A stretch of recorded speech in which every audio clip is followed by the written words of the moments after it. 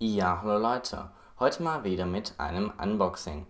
Und zwar von memoryking.de. Ja, die waren so freundlich und haben mir jetzt hier ein paar Sachen für ein Review zur Verfügung gestellt. Ja, und ich würde sagen, fangen wir direkt mal an mit dem Unboxing. Ja, jetzt mache ich hier oben erstmal diese Tasche auf. Ich denke mal, da wird der Lieferschein und das Ganze drin sein. So, hier also auch schon mal der Lieferschein. Ich denke, das ist jetzt nicht sehr interessant. Das lege ich mal zur Seite.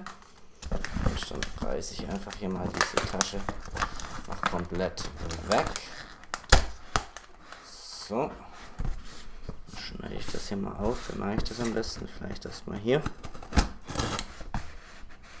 Und dann hier in der Mitte.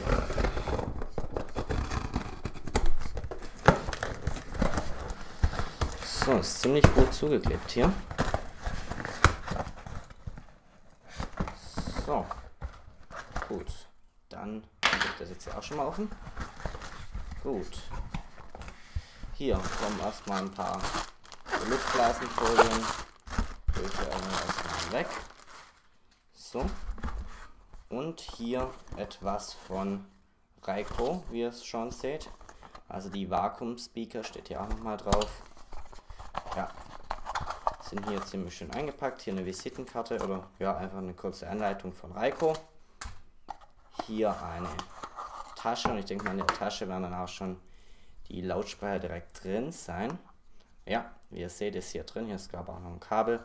Ja, ist alles dabei. Natürlich gibt es so den Sachen, die ich euch jetzt hier auch zeige, natürlich jeweils ein eigenes Review. So, hier haben wir ein Logilink ähm, Dockstation, denke ich mal, für iPhone 3G, so wie es aussieht, ja.